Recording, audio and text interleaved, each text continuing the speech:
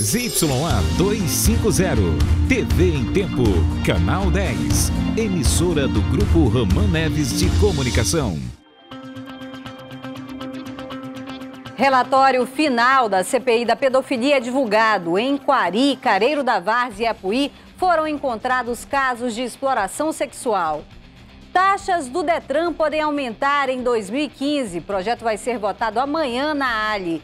Motorista tenta tirar uma aranha da irmã, perde o controle do veículo e bate em poste na Zona Leste. Fim de ano e as passagens de barco aumentam na Manaus Moderna. Já na rodoviária, os preços baixaram para atrair os passageiros. E mais 50 periquitos são encontrados mortos na Avenida Efigênio Salles. A hipótese de atropelamento é levantada pela polícia. O Jornal em Tempo desta terça-feira já está no ar.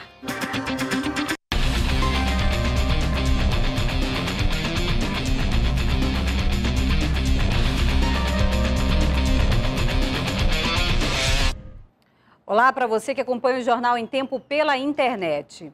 A CPI da pedofilia divulgou hoje o relatório final das investigações realizadas em três municípios: Coari, Careiro da Várzea e Apuí. Em todos foram encontrados casos de exploração sexual contra crianças e adolescentes. As vítimas têm entre 2 e 17 anos. Durante as investigações, a Assembleia Legislativa do Amazonas recebeu 10 novas denúncias. Uma delas veio de Altazes, interior do Amazonas. Lá, os envolvidos são americanos e agenciadores locais. Em Coari, além de crimes contra menores, foram descobertas fraudes financeiras envolvendo a prefeitura e empresas particulares. No município, a exploração sexual é financiada com dinheiro público. A comissão solicitou à Justiça quebra de sigilo bancário da Prefeitura de Quari, de Adail Pinheiro, de Igson Monteiro e de Francisco Balieiro, advogado de Adail, que chegou a receber de janeiro de 2011 a março de 2014 valores que chamaram a atenção da comissão.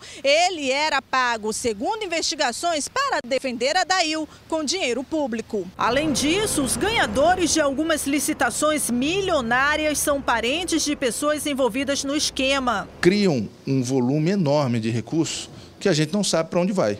Então, pode ir para pedofilia, mas também pode ir para compras irregulares, pode ir para enriquecimento ilícito de, de, governantes, de secretários. Aluguéis de carros, ambulâncias, obras de construção e reforma e fardamento escolar.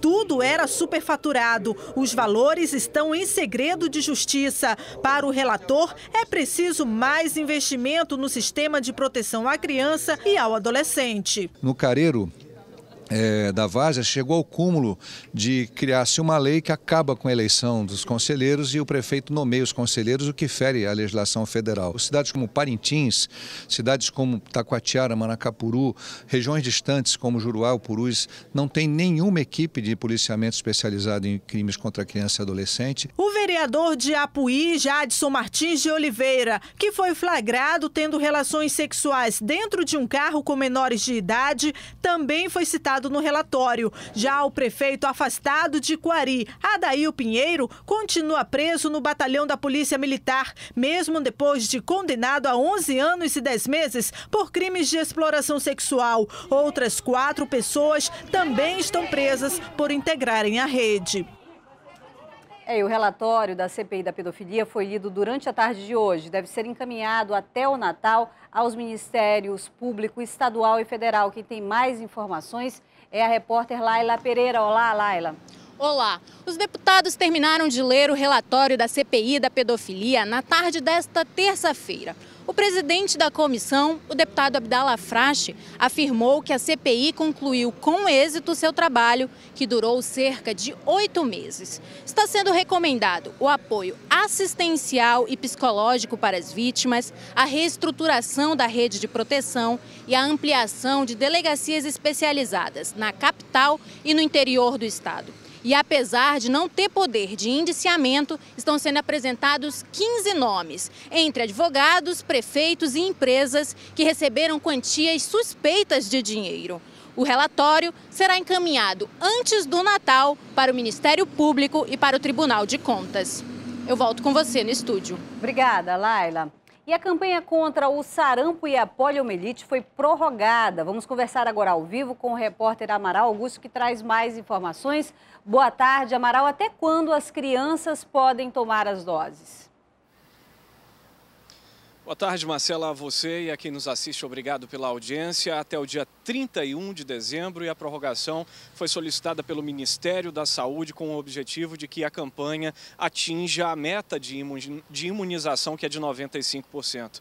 Por enquanto, a campanha de combate ao sarampo aqui na capital só chega aos 53% de imunização e também a campanha da polio aos 83%. Portanto, o objetivo é fazer com que essas crianças de seis meses até cinco anos incompletos para a polio e de um ano a cinco anos incompletos para o sarampo possam ser levadas até o dia 31 de dezembro a qualquer posto de saúde, a qualquer unidade básica de saúde da família para serem, portanto, imunizadas. Marcela. Obrigada, Mara Augusto, ao vivo. Daqui a pouco, procura por passagens ainda é baixa no Porto da Manaus Moderna neste fim de ano. E ainda, o valor das taxas do Detran pode subir em até 500%. Os detalhes já já.